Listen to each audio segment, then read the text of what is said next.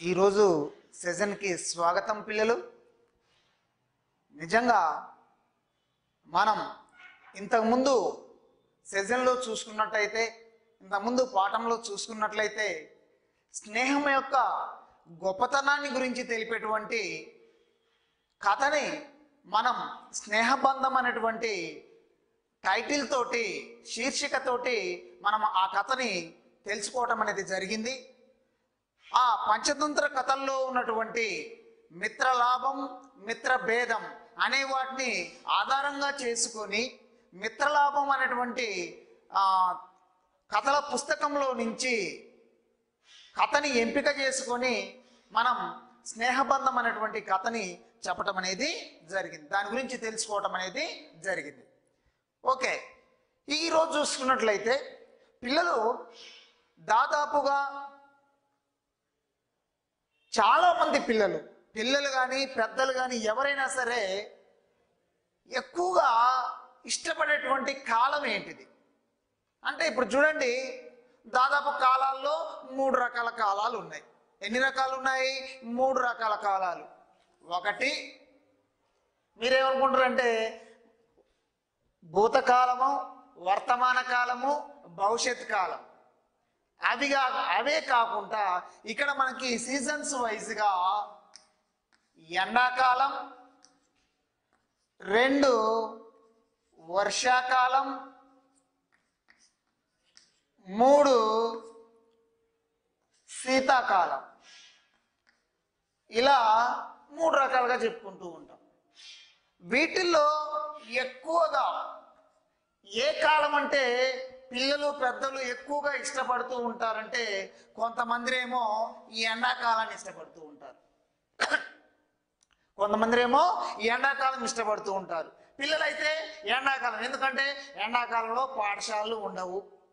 పాఠశాలకు సెలవులు ఇస్తారు కాబట్టి చక్కగా అమ్మమ్మ వాళ్ళ ఇంటికి మన బంధువుల ఇంటికి వెళ్ళొచ్చు చక్కగా టూర్ విహారయాత్రలకు వెళ్ళొచ్చు అక్కడ చూడదగినటువంటి ప్రదేశాలన్నింటినీ కూడా చూడవచ్చు. అలా కొం కొంతమంది పిల్లలు ఇష్టపడుతూ ఉంటారు. ఎక్కువ మంది ఇష్టపడేటువంటి కాలం ఏదంటే అంటే వర్షాకాలం. వర్షాకాలం కోసం ఎవరెవరు ఎదురు చూస్తారు చెప్పండి?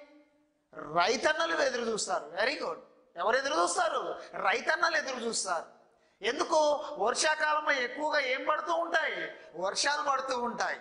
వర్షాకాలంలో ఎక్కువగా వర్షాలు పడుతూ ఉంటాయి కాబట్టి ఆ వర్షాలు పడటం వల్ల భూమి మెత్తగా అంటే భూమి తడిచిపోయి ఆ యొక్క తడిగా ఉన్నటువంటి నేలని రైతన్న దున్ని విత్తనాలు వేసి పంటలు పండిస్తాడు కాబట్టి ఆ యొక్క వర్షం కోసం వర్షాకాలంలో రైతన్న ఎదురు చూడటం అనేది జరుగుతుంది. ఇక మూడోది ఏంది? శీతాకాలం. శీతాకాలంలో స్నో పడుతూ ఉంటే కూడా ఎంతో ఆకర్షణీయంగా కనిపించడం అనేది జరుగుతూ ఉంది. దీన్ని కూడా ఇష్టపడేటువంటి వాళ్ళు ఉంటూ ఉంటారు. అయితే ఈరోజు మనం చెప్పుకునబోయేటువంటి ఈ పాఠంలో వర్షాకాలంలో రైతన్నలు రైతన్నల కానించి చిన్న పెద్ద అనే తేడా లేకుండా జంతువులతో సహా పక్షులతో సహా అన్నీ ఎదురు చూసేటువంటిది ఏంటిది దేనికోసం ఎదురు చూస్తాయంటే వర్షం కోసం ఎదురు చూస్తూ ఉంటాయి. దేనికోసం ఎదురు చూస్తూ ఉంటాయి? వర్షం కోసం ఎదురు చూస్తూ ఉంటాయి. ఆ వర్షాకాలంలో కురిసేటువంటి వర్షం గురించి ఈరోజు మనం చెప్పుకుందాం. ఈరోజు మనం చెప్పుకోబోతున్నాం. మరి ఇంతకీ మనం ఇప్పుడు ఉన్నటువంటి ఇప్పుడు ఉన్నటువంటి ఏ కాలం ఇది? ఇది వర్షాకాలమే. ఇది ఏ కాలం వర్షాకాలమే. ఈ వర్షాకాలంలో మనం అలా పిలవగానే ఇలా వర్షం పడుతూ ఉంటుంది నన్ను. మనం ఇలా పిలవగానే ఇలా పడుతూ ఉంటుంది. కొన్నిసార్లు ఏమో అసలు వర్షాలు పడవు కొన్నిసార్లు ఏమో వర్షాలు ఎక్కువగా పడుతూ ఉంటాయి. అసలు వర్షాలు పడకపోవటం వల్ల కలిగే నష్టాలు వర్షాలు ఎక్కువగా పడటం వల్ల కలిగే నష్టాలు ఇవన్నీ కూడా మనం తెలుసుకోబోతున్నాం. అంటే ఈ రోజు మనం దేని యొక్క గొప్పతనం గురించి చెప్పుకోబోతున్నాము అంటే ఈరోజు వర్షం యొక్క గొప్పతనం. వర్షం గురించి ఈరోజు తెలుసుకోబోతున్నాం మరి ఈ వర్షం అనేటువంటి ఈ పాఠ్యభాగ సారాంశాన్ని మనకు వివరించినటువంటి కవి గారు ఎవరంటే పల్లా దుర్గయ్య గారు. ఎవరైనా పల్లా దుర్గయ్య గారు. నిజంగా ఎవరికైనా సరే చిన్న పెద్ద తేడా అనేది లేకుండా ఆడ మగ అందరూ ఇష్టపడేటువంటి ఇష్టపడేది ఏంటంటే వర్షాన్ని. వర్షాన్ని ఎక్కువగా ఇష్టపడుతూ ఉంటారు. ఎందుకు అంటే వర్షం పడుతూ ఉన్నప్పుడు మనం డాబా మీదకి వెళ్ళి మిద్దె మీదకి వెళ్ళి ఆ వర్షంలో తడుస్తూ ఇలా ఇలా తిరగాలనిపిస్తూ ఉంటుంది. ముఖ్యంగా ఆడపిల్లలకి. అమ్మవాళ్ళు మన అమ్మవాళ్ళు ఏం చేస్తారో తెలుసా? మనల్నేమో వర్షంలో తడిస్తే జలుబు వస్తుంది జ్వరం వస్తుంది అని చెప్పి మనల్ని బయటికి వెళ్ళొద్దని చెప్పి అంటారు. వాళ్ళు మాత్రం ఆ పను ఈ పను ఏదో ఒక పనితోడు వంకతోడు వెళ్ళి వర్షం ఒకసారి అలా తడిచి వస్తూ ఉంటారు. అంతేకాదు ఆ వర్షం పడుతూ ఉన్నప్పుడు మనం కిటికీలో నుంచి మన యొక్క చేతుల్ని పెట్టి ఇలా ఇలా ఆ వర్షపు దారిని ఇలా ఇలా అంటుంటే నిజంగా ఆ అనుభూతి ఎంతో గొప్పది నన్ను దాన్ని అనుభవిస్తేనే కానీ తెలియదు. ఆ వర్షం పడేటువంటి పడేటప్పుడు వచ్చేటువంటి మట్టి వాసన అది కూడా ఎంతో అద్భుతంగా ఎంతో ఆ, అద్భుతంగా మనకు అనిపిస్తూ ఉంది. అవునంటారా కాదంటారా? అందుకోసమే వర్షాన్ని ఇష్టపడినటువంటి వాళ్ళు ఎవ్వరూ ఉండరు. మరి ఈ వర్షం మీద ఎంతో మంది కళాకారులు ఎంతో మంది గాయని గాయకులు పాటలు రాయటం కూడా జరిగింది. సినిమాల్లో రాశారు పాటలు కొంతమంది జానపద పాటలు కూడా రాయటం అనేది జరిగింది. మరి మీకోసం ఈరోజు ఈ వర్షం మీద ఒక జానపదాన్ని పాడబోతున్నాం. వినటానికి మీరంతా సిద్ధంగా ఉన్నారా? ఓకే రెడీగా ఉండండి అన్న. వానమ్మ వానమ్మ వానమ్మ ఒక్కసారన్న వచ్చిపోవా వానమ్మ. వానమ్మ వానమ్మ వానమ్మ ఒక్కసారన్న వచ్చిపోవా వానమ్మ. తెలంగాణ పల్లెలన్నీ మండల్లో మం ఎండల్లో మండుతుండే. తెలంగాణ పల్లెలన్నీ ఎండల్లో మండుతుండే. తినటానికి తిండి లేక తాగేందుకు నీళ్ళు లేక ఉండేందుకు గుడిసే లేక కాపాడే నాదుడు లేక. వానమ్మ వానమ్మ వానమ్మ ఒక్కసారన్న వచ్చిపోవా. వానమ్మ. చెరువుల్లో నీళ్ళు లేవు చిలకల్లో నీళ్ళు లేవు వాగుల్లో నీళ్ళు లేవు వంపుల్లో నీళ్ళు లేవు నిన్నే నమ్మిన రైతు కళ్ళల్లో నీళ్ళు లేవు. వానమ్మ వానమ్మ వానమ్మ ఒక్కసారన్న వచ్చిపోవా?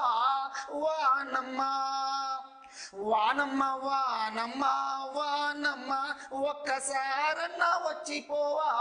వానమ్మ ఎదిగేటి మిరపసేను ఎండల్లో ఎండిపోయే సక్కాని మొక్కజొన్న ఎక్కెక్కి ఏడవసాగే పాలు పోసుకున్న కంకి పాలన్నీ ఒలిగిపోయి నీళ్ళు పోసుకున్న సేను నీలాడలేకపోయే వానమ్మ వానమ్మ వానమ్మ ఒక్కసారన్న వచ్చిపోవా. వానమ్మ. నిజంగా ఈ పాట వింటూ ఉంటే నిజంగా ఎంత అద్భుతంగా అనిపిస్తూ ఉంటుందంటే వర్షం పడనప్పుడు ఆ వర్షం రావాలి అని చెప్పి ఎంతో మంది దానికోసం ఎదురు చూస్తూ రాసినటువంటి ఈ పాటే. వానమ్మ వానమ్మ వానమ్మ ఒక్కసారన్న వచ్చిపోవా వానమ్మ. ఒక్కసారి తెలంగాణ పల్లెలన్నీ మ- ఎండలో మండిపోతున్నాయి. తినటానికి తిండి లేక తాగటానికి నీళ్ళు లేక ఉండటానికి గుడిసెలు లేక కాపాడేటువంటి నాదులు లేక ఎంత చక్కగా అందులో ఎంత అర్థం దాగిందో ఒకసారి ఆలోచించండి. మరి అలాంటి తెలంగాణని కాపాడటం కోసం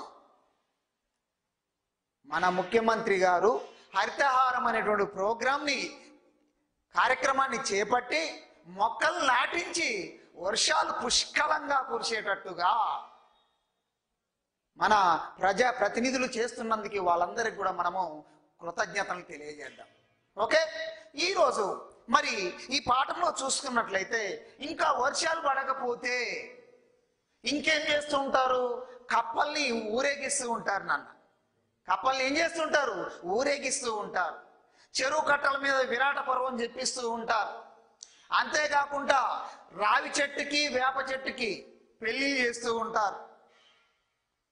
అర్థమవుతుందా? మరి ఈ విధంగా ఎన్నో రకాలుగా వర్షాలు పడటం కోసం గ్రామ దేవతలకు కూడా పూజలు చేస్తూ ఉంటారు. అవి వర్షాలు పడకపోతే మరి వర్షాలు అధికంగా పడ్డప్పుడు? వర్షాలు అధికంగా పడ్డప్పుడు కలిగేటువంటి నష్టాలు ఏంటి? అనేది మనకి ఈరోజు పల్లా దుర్గయ్య గారు మనకు తెలియపరచడం అనేది జరిగింది.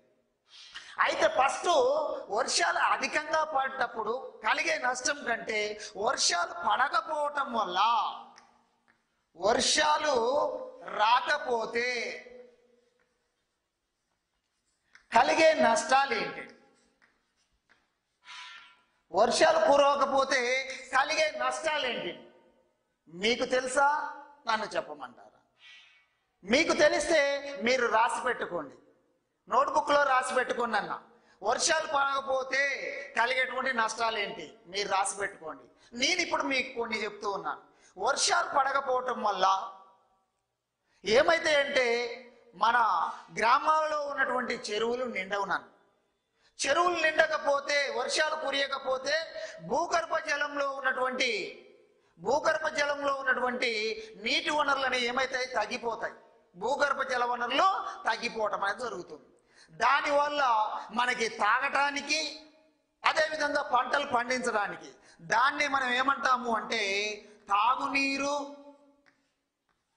అదేవిధంగా సాగునీరు. తాగునీరు అంటేనేమో తాగటానికి ఉపయోగపడేది సాగునీరు అంటేనేమో మనం పంట పొలాలని పండించడానికి ఉపయోగ దాన్ని సాగునీరు అంటూ ఉంటాం. ఇలా తాగునీటికి సాగునీటికి కొరత ఏర్పడటం అనేది జరుగుతూ ఉంది. భూములన్నీ కూడా బీటలు వారటం జరుగుతూ ఉంది. చెట్లన్నీ ఎండిపోవటం జరుగుతూ ఉంది. పక్షులు జంతువులు ఇవన్నీ కూడా వాటికి కావలసినటువంటి దాహం అంటే వాటికి కావలసినటువంటి నీళ్ళు అందక దొరకక పక్షులు జంతువులన్నీ కూడా చనిపోతూ ఉంటాయి. కొన్ని కొన్ని సందర్భాల్లో మన దగ్గర ఉన్నటువంటి పక్షులు జంతువులు కూడా వలసలు వెళ్ళిపోతూ ఉంటాయి. మరి వర్షాలు పడకపోతే అసలు ముఖ్యంగా పంటలు పండవండి. పంటలు పండకపోతే ఏమొస్తుంది? కరువు వస్తుంది. ఏమొస్తుంది? కరువు రావటం అనేది జరుగుతుంది. పంటలు పండకపోవటం వల్ల కరువు రావటం జరుగుతుంది. ఆ పంటలు పండకపోతే మనకి అన్నం ఎవరు పెడతారు? డబ్బులు మీద తిని బ్రతుకుతామా? బ్రతకం కదా. అలా ఆకలి మంటలతో ప్రజలు అలమటించిపోయి మరణించేటువంటి ప్రమాదం ఉంది నన్ను. అంతేకాదు పరిశ్రమలు నీటితో నడిచేటువంటి పరిశ్రమలన్నీ కూడా అవి ఆగిపోవటం జరుగుతూ ఉంది. అంతేకాకుండా మనం నిత్యం ప్రతిరోజు నీటి అవసరం అనేది లేకుండా మనము ఏ పనులు చేసుకోలేము.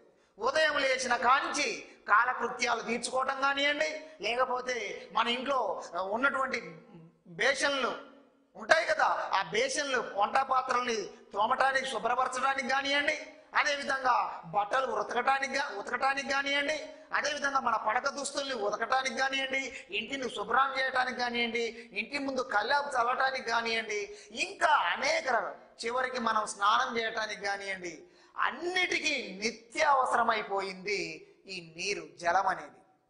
మరి ఆ నీరే లభించకపోతే ఎన్ని అగచాట్లు పడాల్సిన పరిస్థితి ఏర్పడుతుందో ఒకసారి ఆలోచించండి. ఫారెన్ కంట్రీస్కి వెళ్ళినప్పుడు వాళ్ళు అక్కడ నీరు సమృద్ధిగా దొరకదు. అప్పుడు వాళ్ళు పడుతున్నటువంటి ఇబ్బందులు ఎన్నో రకాలుగా ఉన్నాయి. మొత్తం depend on the papers tissue papers మరి మనకి అటువంటి దౌర్భాగ్య పరిస్థితి ఏర్పడలేదు. అంటే మనం ఎంతో కొంత పుణ్యం చేసుకున్నట్టే లెక్క. అంటే ఈ వర్షాలు అనేవి భగవంతుడు నీరు అనేది భగవంతుడు మనకు ప్రసాదించినటువంటి వనరు.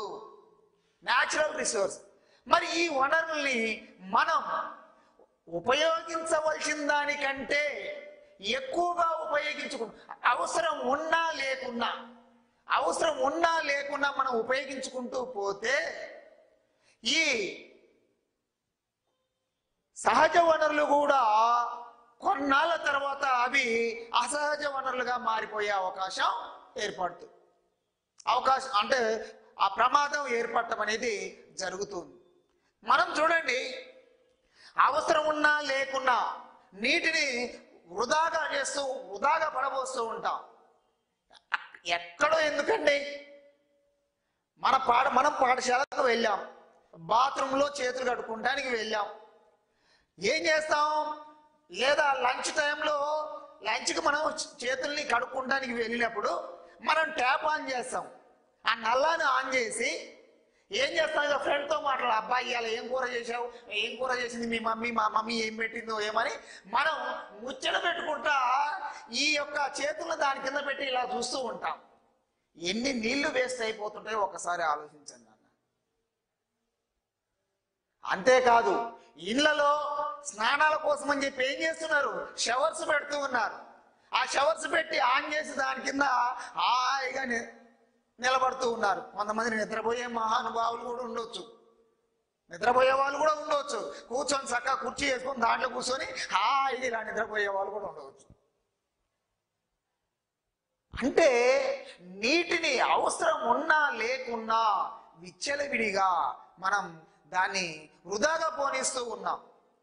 అదేవిధంగా పట్టణ నగర ప్రాంతాల్లో చూసినట్లయితే నీటిని సప్లై చేసేటప్పుడు అక్కడక్కడ పైపులు లీకేజ్ అవుతూ ఉంటాయి. లీకేజ్ అయినప్పుడు లీకేజ్ అయినటువంటి పైపుల ద్వారా నీరు వృధాగా పోతూ ఉంది. మనం దాన్ని చూసుకుంటూనే పోతాం. మన పాఠశాలలో ఉన్నటువంటి ట్యాప్ కూడా లీక్ అవుతూ ఉంటుంది. దాన్ని చూసుకుంటూ పోతాం కానీ మనం మాత్రం దాన్ని ఆఫ్ చేయటం ప్రయత్నం చేయం. ఎందుకంటే అది మనది కాదు కదా. అది మంది కాదు కదా అనేటువంటి ఫీలింగ్ మీది. కానీ అది మీ అది మీరు కట్టినటువంటి పైసలతోటి కొనుగోలు చేసి ఏర్పాటు చేసిందనే విషయాన్ని మర్చిపోబాకండి.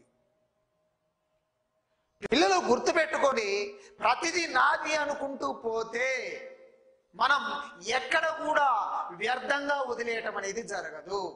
కాబట్టి నీటిని వృధా చేయటం అనేది మంచి పద్ధతి కాదు. ఇక నుంచైనా నీటిని వృధా చేసేటువంటి పిల్లలు ఎవరైనా ఉంటే ఆ నీటిని వృధా చేయకుండా పొదుపు చేయటం నేర్చుకోండి.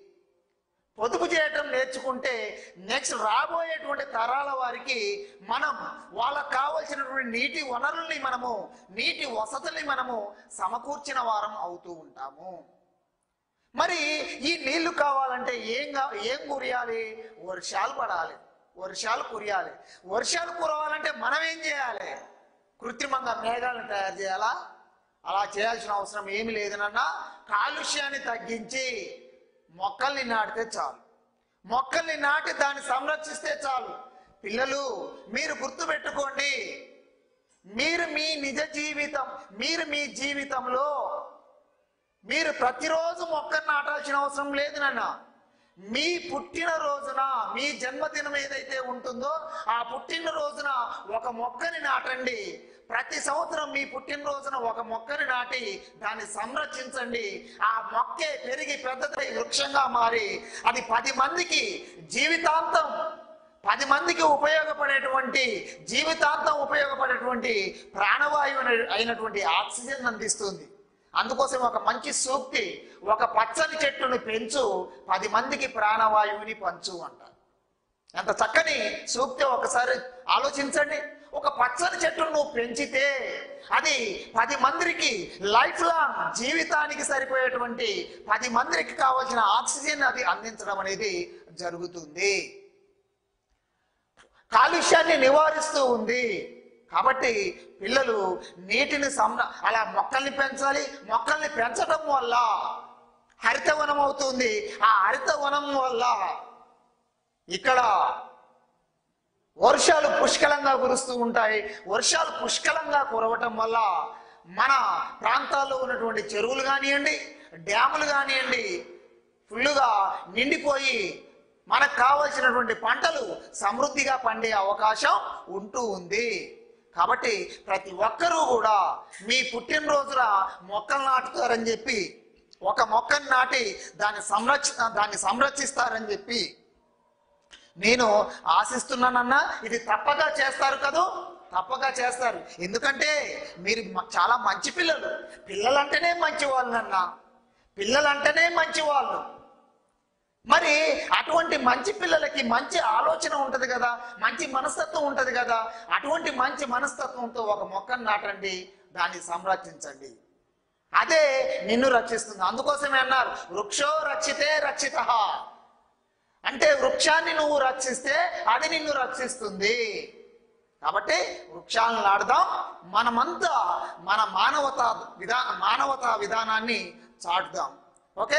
ఇక ఇప్పుడు చూడండి మనం పాఠంలో గనక వెళ్ళినట్లయితే ఈ వర్షం అనేటువంటి ఈ పాఠ్య భాగాన్ని రాసినటువంటి కవి గారు ఎవరై అంటే పల్లా దుర్గయ్య గారు. ఆ పల్లా దుర్గయ్య గారి గురించి ఈరోజు చూద్దాం. డాక్టర్ పల్లా దుర్గయ్య గారు ఇరవై ఐదు ఐదు మే నెలలో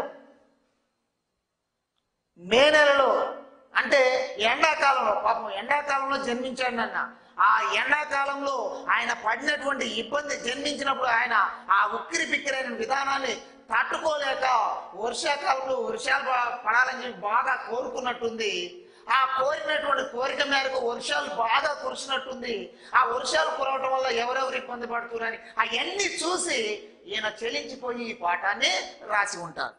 ఇరవై ఐదు ఐదు పంతొమ్మిది వందల పద్నాలుగో సంవత్సరం. పంతొమ్మిది వందల పద్నాలుగో సంవత్సరం. మనకి పంతొమ్మిది వందల పద్నాలుగు అనగానే ఏం గుర్తుకు రావాలి? ఫస్ట్ వరల్డ్ వార్ మొదటి ప్రపంచ యుద్ధం అనేది గుర్తుకు రావాలి. పంతొమ్మిది వందల పద్నాలుగు నుంచి పంతొమ్మిది వందల పంతొమ్మిది వరకు జరిగినటువంటి. ఓకేనా? అప్పుడు జన్మించాడు. ఎక్కడ జన్మించాడు డాక్టర్ పల్లా దుర్గయ్య గారు వరంగల్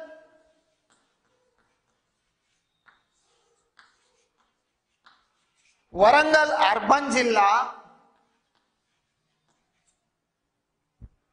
మడికొండ గ్రామం. వరంగల్ అర్బన్ జిల్లా మడికొండ గ్రామంలో ఎవరు ఎవరికి జన్మించాడు అంటే నరసయ్య సారీ నరసమ్మ పాపయ్య శాస్త్రి.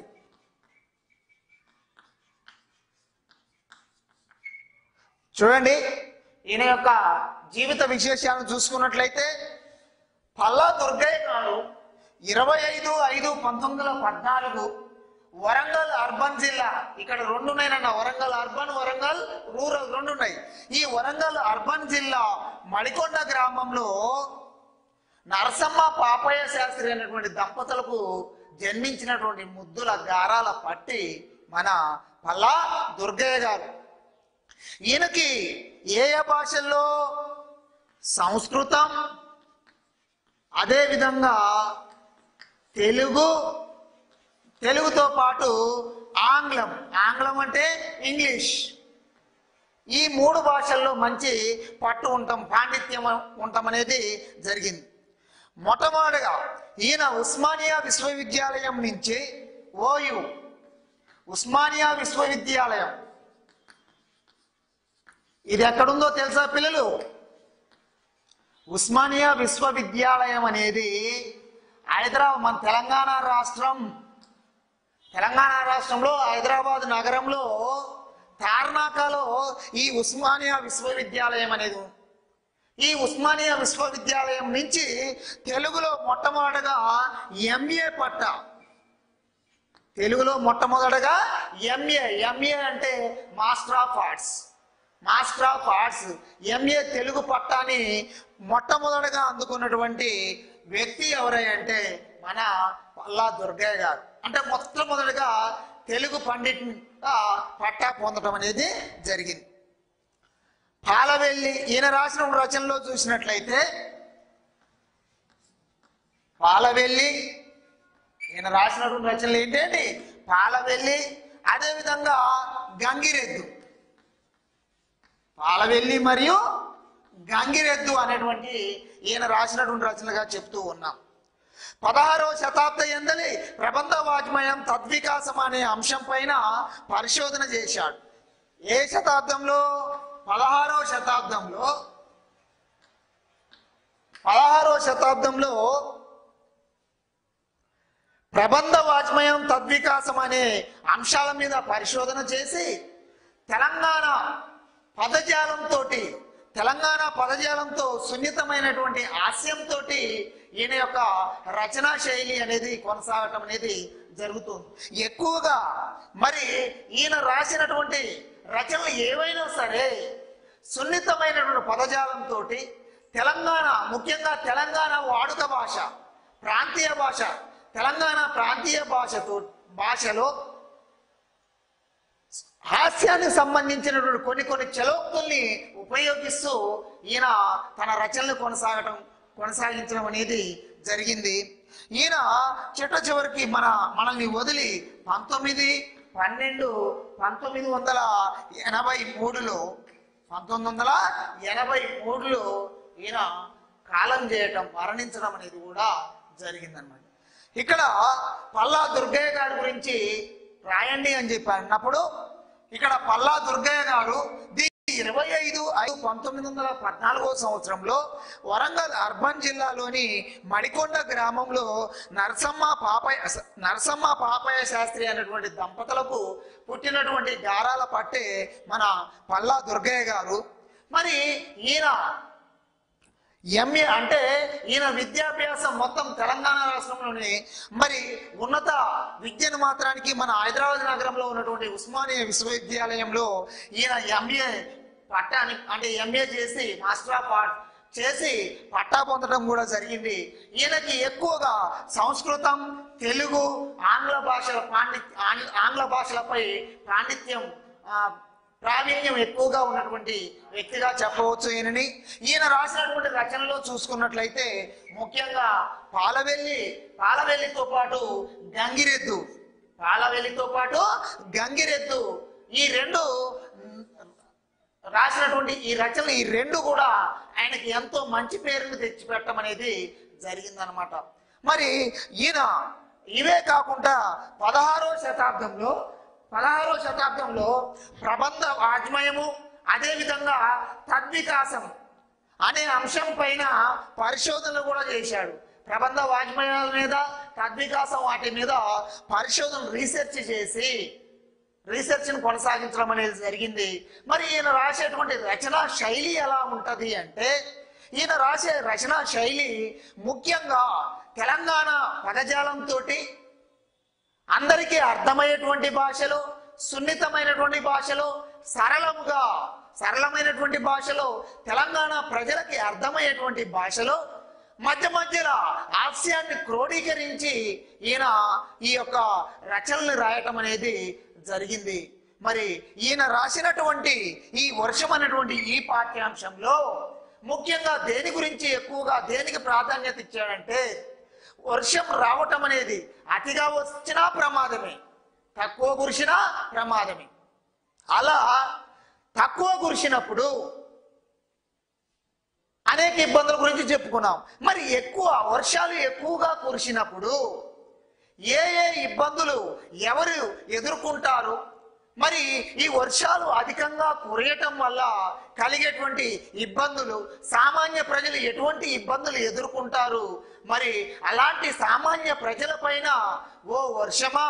ఓ వానదేవుడా నీవు దాడి చేయకుండా వాళ్ళపై నువ్వు కరుణ చూపించి వాళ్ళని నువ్వు కాపాడు వాళ్ళని మాత్రానికి వాళ్ళ యొక్క పేద కాపురాలని నువ్వు పాడు చేయబాకు. నువ్వు ధనవంతుల ఇళ్ళలో చేరి వాళ్ళని ఏమి చేయలేవు అని చెప్పి తెలిసి నువ్వు పేదవారు ఉంటున్నటువంటి గుడిసెల మీద దాడి చేసి ఆ గుడిసెలు ఊడిపోయే ఆ గుడిసెలన్నీ పడిపోయేటట్టుగా ఆ పేదవా పేదవాళ్ళు ఆ గుడిసెల్లో ఉన్నటువంటి వారు భయపడేటట్టుగా నువ్వు వాళ్ళ మీద దాడి చేసి వాళ్ళని భయపెట్టకు ఓ వానదేవుడా అని చెప్పి వానదేవుణ్ణి ప్రార్థిస్తూ రాసినటువంటి